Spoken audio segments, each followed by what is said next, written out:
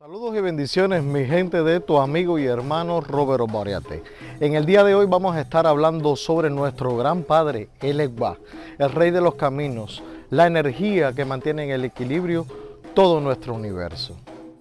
Hecho el Egba es el mensajero divino, el espíritu que permite a los humanos comunicarse con lo divino. Hecho el Egba traduce el lenguaje de la naturaleza en el lenguaje de los humanos y el lenguaje de los humanos en el lenguaje de la naturaleza. Los orichas nos enseñan que todo en la naturaleza tiene orí o conciencia. Si alguna vez has ido a la playa, por ejemplo, sintiéndote deprimido y te sentiste mejor solo por estar en presencia del océano, entonces se puede decir que te involucraste en algún tipo de diálogo o comunicación con el océano y es el Egba quien nos ayuda.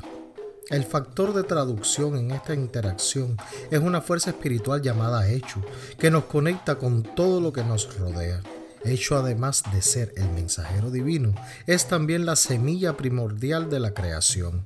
Ochetura, por ejemplo, por Ifa, describe la relación entre Hecho y la gente de la tierra. Hecho como el mediador entre lo sagrado y lo humano, tiene un papel clave en el mantenimiento de la armonía y el equilibrio en el mundo. Si los humanos se alejan demasiado de la idea de vivir en alineación con la ley natural, hecho el Ekba como embustero y tramposo causa una interrupción en forma de enfermedad.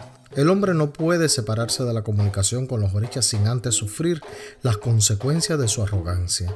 Los humanos no pueden comportarse de una manera contraria a su naturaleza esencial sin eventualmente pagar un precio. Echu también tiene un papel como el tramposo y embustero divino, lo que significa que Echu puede crear ilusiones basadas en la arrogancia.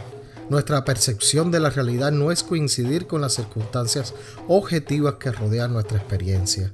Echu es la fuerza de la naturaleza que ilumina la conciencia de esta contradicción.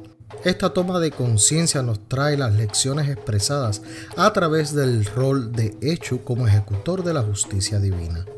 Continuamos mencionando que Echu el Ekbah padre dueño distribuidor de la fuerza vital de la vida, y del H es la autoridad sobre todas las criaturas creadas por los Dumares.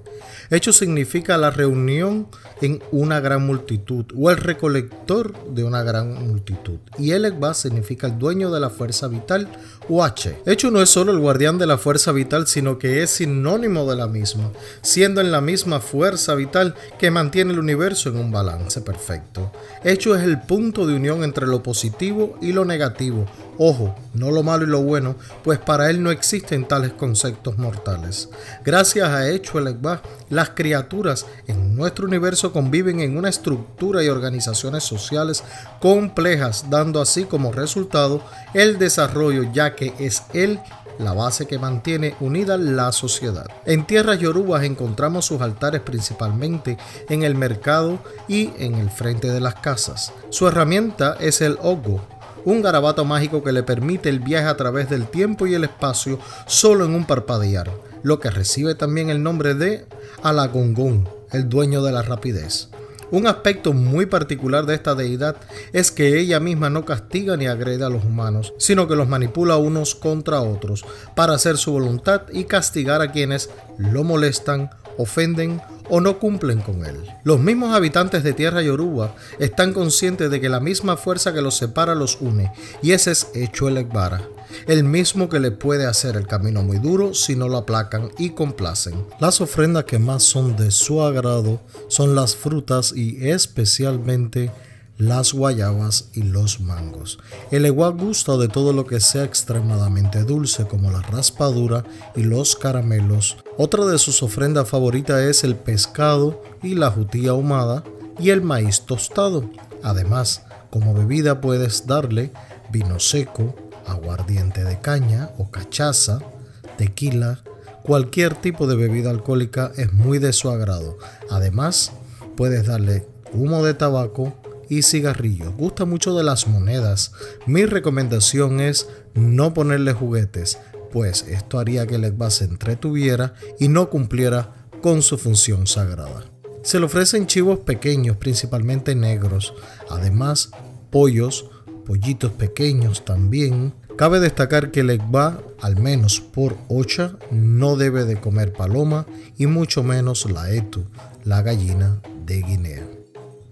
Sus colores favoritos son el rojo y el negro, aunque por algunos caminos o avatares gusta del blanco y el negro. Sus collares se confeccionan con cuentas rojas y negras, una roja y una negra. Algunas de las características de sus hijos son la amabilidad, un carácter afable, algo juguetón, en ocasiones impredecibles, pero sobre todo muy amistosos y familiares. La atención del Egba debe de ser los lunes principalmente el Eguá gusta mucho de las fiestas, las piñatas, donde haya muchos niños, mucha música, mucha bulla, pues es el revoltoso. Otra particularidad de hecho es que no es restringido por las distinciones de género humano. Él es varón y él es hembra. No tiene madre ni padre, pues él mismo se multiplica y sobre todo es tan antiguo o más que Olotumare. No es creación de Olofi y sobre todo bajo ningún concepto lo obedece. Aunque su masculinidad visual y gráficamente se representa con figuras con penes y testículos extremadamente desarrollados y desproporcionados con el resto del cuerpo, vemos también que su feminidad igualmente es expresiva y sobre todo de una enorme sexualidad ambigua y totalmente carente de género. Los yoruba suponen que Hecho es hembra cuando él es positivo, atento, conforme, predecible y manso, al contrario de que cuando es masculino es negativo, desatento e inconforme, impredecible y cruel, lo cual tiene como paralelo la teoría de lo positivo y lo negativo que vemos en diferentes culturas religiosas como el budismo, por ejemplo, con el yin y el yang, lo blanco y lo negro, la luz y la oscuridad, la vida y la muerte, etc. Hecho, por ejemplo, fue quien introdujo a los yorubas la tradición de las marcas faciales como una señal de distinción. Hecho fuma cigarros, cigarrillos, tabacos, pipas, ama el baile, las fiestas, las bebidas alcohólicas, los dulces y su apetito es insaciable y voraz. Por tal razón es menester siempre alimentarlo incluso antes que a todas las deidades. Es el primero y es el último es principio y es fin, pues es muy astuto y manipulador. Como intermediario y mensajero entre los dioses y los hombres, hecho encamina los sacrificios. No reconoce a ningún amo y nunca se casó con ninguna deidad. Hecho se le describe como el Ekbao Bukenke, dueño de la fuerza vital, el que es pequeño y abusivo según su antojo. Se le llama Aroni, el duende del bosque, Alado, el dueño de las calabazas mágicas que contienen el H. También se le llama hecho Odara, el que reúne a una gran multitud para hacer trucos mágicos que asombran a todos solo para divertirse. En fin, Echu puede ser terrible e inclemente, pero a la vez con un carácter juguetón y amante de las risas y la bulla. Normalmente su hábitat son las encrucijadas y los espacios abiertos, las sabanas, en las esquinas de las calles, detrás de las puertas.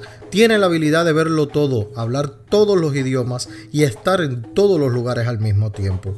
Con su favor lo tenemos todo, sin él no tenemos nada.